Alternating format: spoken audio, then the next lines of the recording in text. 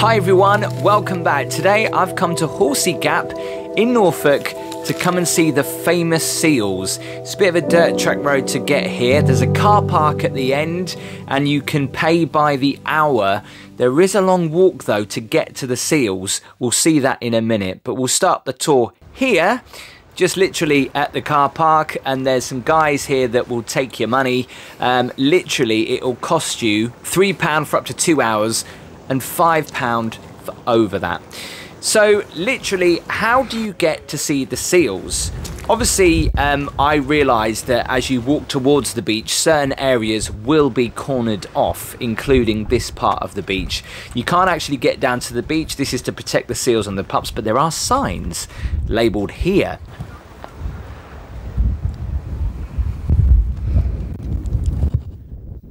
This is all situated on the Horsey Estate and Horsey Warren where you can see loads of amazing wildlife.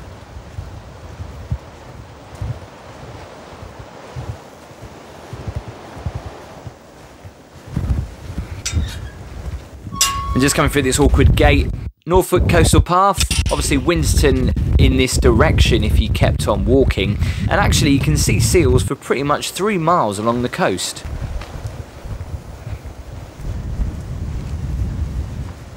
And it's quite a nice walk. The seal colony starts from here and you can walk all the way on the uh, sand dunes or you can walk this way. We're going to go this way. It's all roped off as well.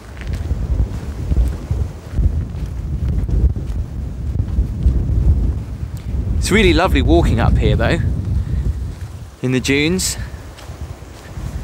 But uh, this is the time of the year where the seal pups are being born right through, I think it's till either January or February.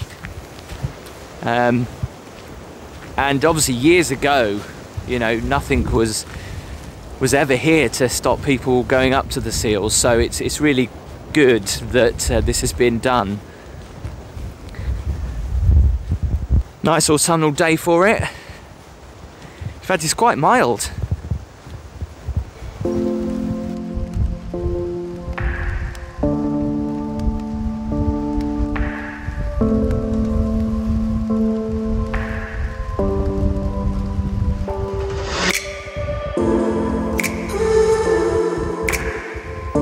And you'll see lots of wardens about as well, making sure people are obeying the rules, making sure they don't go on the beach.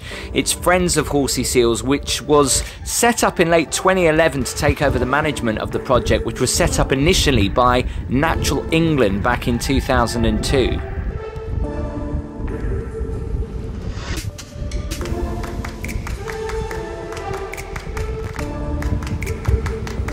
So it is a little bit of a way to get to the seals. You can see some of them just in the distance there and where people and the crowds are.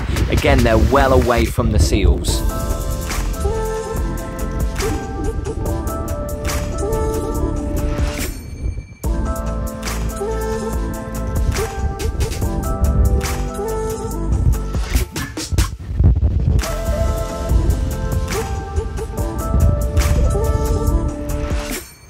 Remember, these seals are wild animals as well. So the area along the beach here is known as the nursery, known as a rookery. On arrival, the seal will select a place above the tide line where they'll give birth, usually within 24 hours, and they'll protect their territory against intrusion by other seals. That's why you'll see them fighting sometimes. At birth, the pups weigh around 13 kilos. They've got a soft, creamy white coat which is not waterproof, so they have to stay on the beach um, and suckle on their mother's milk for at least 18 to 21 days. During this time, the pup will get a layer of blubber under the skin, which will act as a food resource when its mother leaves, and basically, it's left to fend for itself. Obviously looks like a board here where they normally tell us how many pups are on the beach and how many seals are on the beach. The, obviously this count will get going later on in the season. And a great time to come up here actually is um, around Christmas. You'll probably see a lot more seals on the beach and it's a lovely walk around Boxing Day. I'm just going to go up these steps here because there's another entrance here to see some more seals just along the cliff top.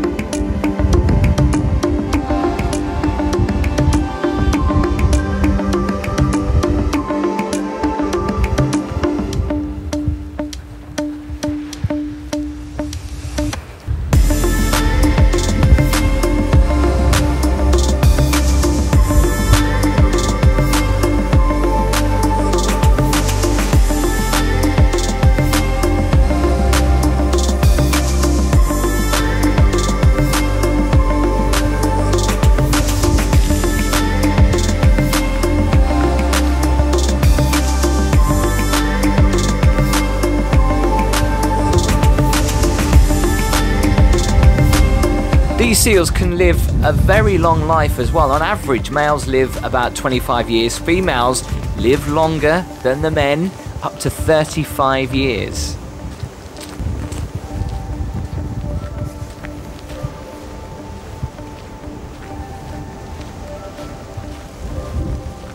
And just notice this pillbox, which is actually in pretty good condition. As I walk inside, luckily it doesn't smell of wee, where most of these do. Um, and uh, they've actually got some quite good advantage points here looking out the windows. Um, this one you can just go in, have a walk around, check out the views. I don't know if there are coffee cups there.